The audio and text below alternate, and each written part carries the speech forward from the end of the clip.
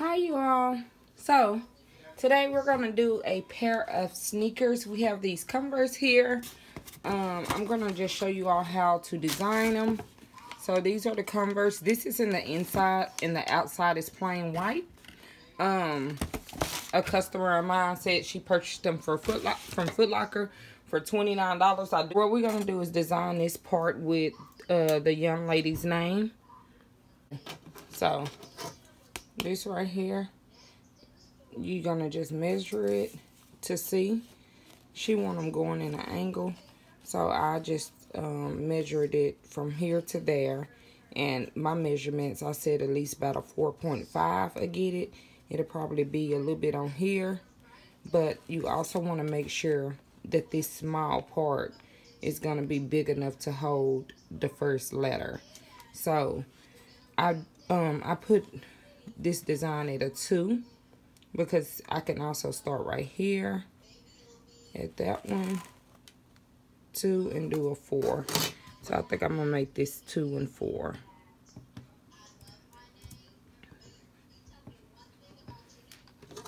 so I don't want it to be too big.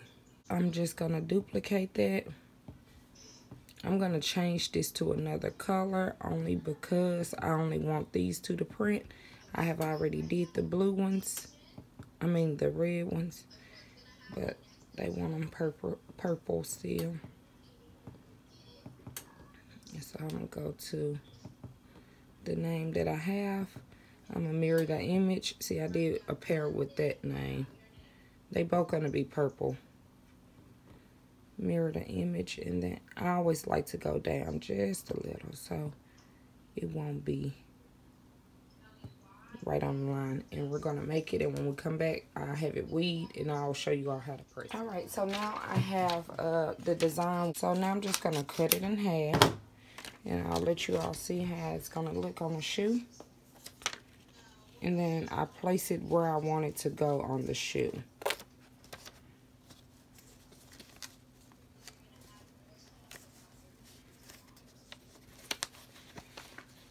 I'm going to push from the inside out.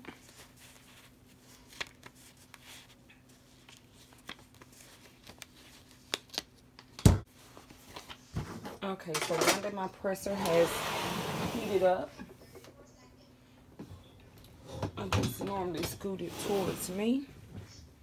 And this is a swing away presser. So I just swing it away. And like I said, I make sure that this is where I really want it to be before I press. And I'm going to hold it firmly. I'll take this heat um,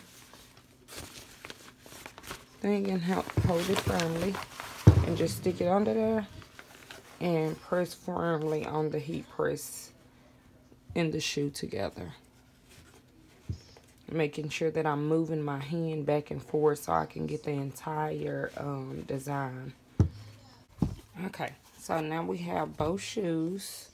Um, the, the names will go in opposite directions. So we have both shoes done. And an idea for people or any, you can use rhinestones. However, you can also use these gemstones. These gemstones are not the correct color. But I just want to give y'all like an idea of what you can do.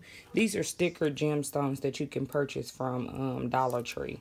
And I'm just going to show y'all um, something that you can do. These are sticker. They, I'm not going to leave these on permanent because we do have some gemstones. Well, the parent has gemstones that actually go with these, that color. And I'm not doing it for them. They're going to do it themselves. So I'm not going to even try to. But I'm just going to do one shoe to show y'all. Like, give y'all an idea. Because this is going to be removable. Like I said, this is sticker. So, just trying to give it a little extra.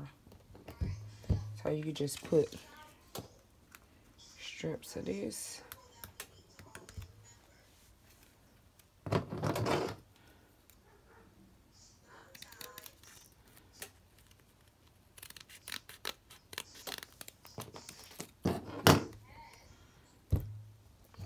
Okay, yeah, I'm just gonna stick that one right there this time.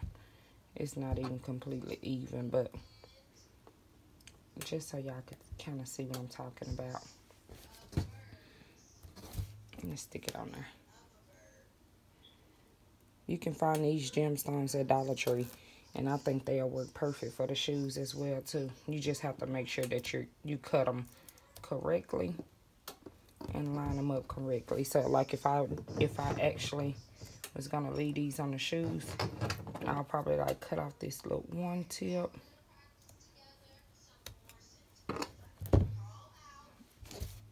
And then these, this one up here, get cut off. I get the point. I'm not trying to make this video long. I think y'all get it. So you can do them like that. But of course, like cut off these little extra pieces. Just have them evenly done. And you can also even take the gemstones and like put a strip over on the side if you want. Like you can bling them out on the side. Let me see. It'll take four rows.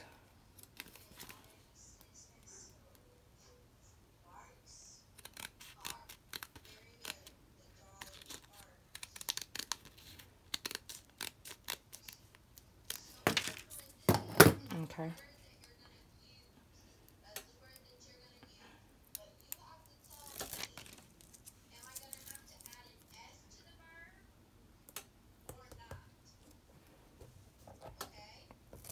you line them up. I'll leave that white piece white at the bottom. But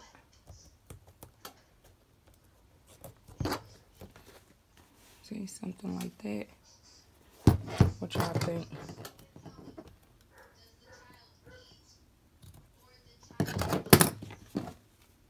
What y'all think? Can y'all see? but it you should get the same color that matched the vinyl you use. I'm just I just did that one and line this up. And then this this is the side. I know the purple don't go, but that's the color they chose. So I would probably do mine's navy blue if I had to do a pair for myself or for my kid or something. But as y'all can see, these Dollar Tree ones work well. If you was doing it permanent, I also still use the gem glue. That way it will stick. You'll have an extra stick, so you'll still have the sticky tape, but you can use the gem glue to make it stick to the fabric, and you won't have to worry about it if it rain or something like that, and they won't just be able to remove it like I'm I just did. Okay, that's the end of this video. I hope you all like it. Give it a thumbs up. Make sure you subscribe to my channel, and uh, share the videos with your friends and family. Thank you. Bye.